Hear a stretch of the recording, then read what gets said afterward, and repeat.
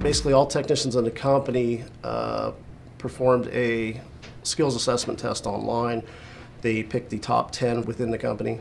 And we, uh, we all travel to Des Moines, um, get together, do a lot of information sharing with each other, and we perform uh, multiple staged events that they have uh, highlighting specific uh, skills of the trade.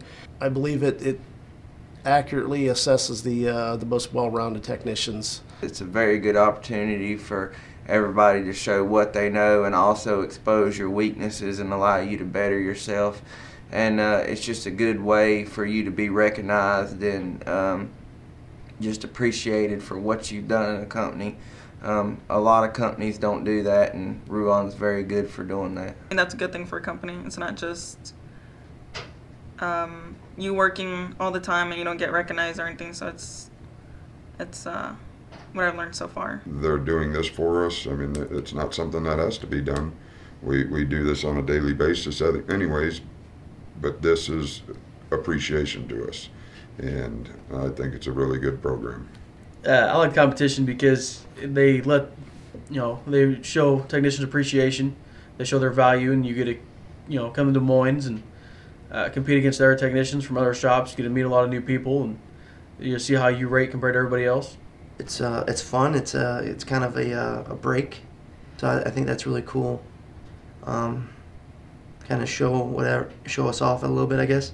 It's it's great to be able to uh, meet other techs from different locations in other other states. Um, I'm from Georgia. I'm able to meet people from Virginia. I'm able to meet people from Arizona uh, it's just great to be able to see there's other techs like me out here. You get group time with people outside of the shop that you're from, so you get to meet other people and share differences, different issues that are that other shops see.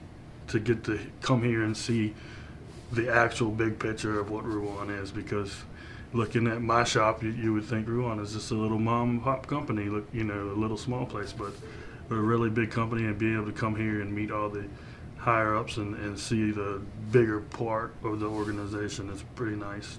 I like that Ruan is honoring those of us who put in the effort to do the best that we can do.